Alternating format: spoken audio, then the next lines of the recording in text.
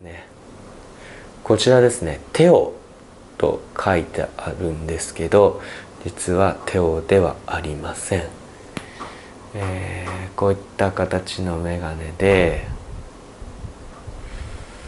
えー、生地もですね赤の上にブラウン系の生地がこう乗ってるんですけどまあ綺麗といえば綺麗なんですね。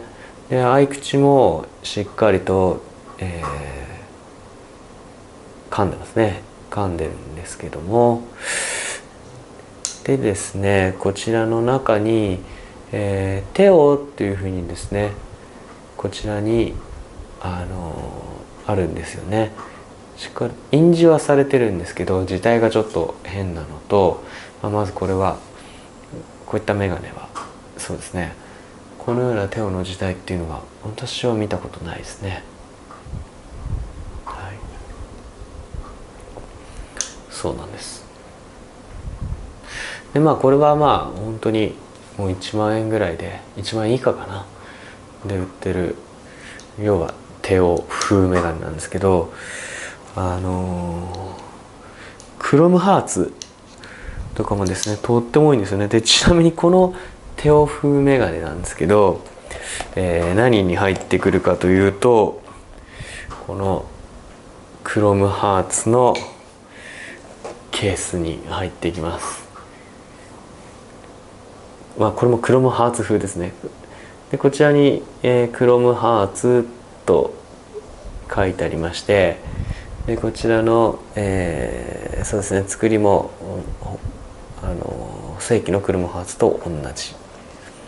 で作り自体箱の作り自体はですね結構製法もしっかりしてます。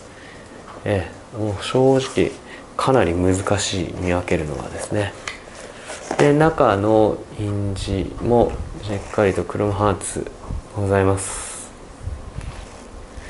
でえー、っとそうですね。こういったところにも中の、えー、模様中の記事にも書いてあります。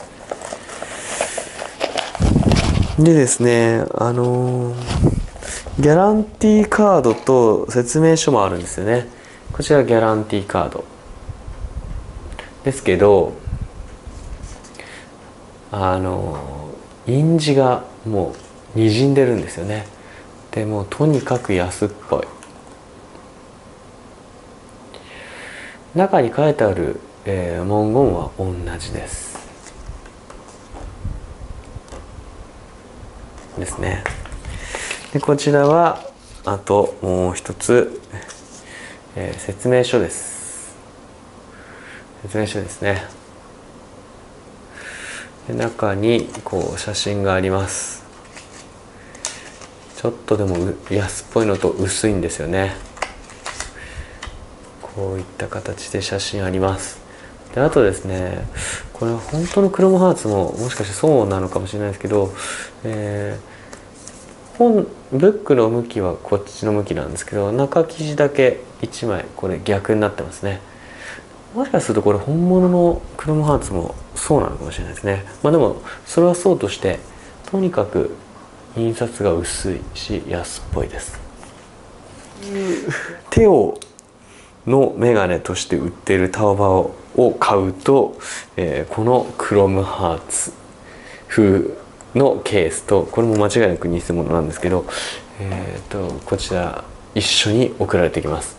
ちなみにせっかくなんでかけてみますとこんな感じですね。うん。まあ眼鏡としては全然悪くはないんですけど、えー、そうですね。まあまず手をではありません。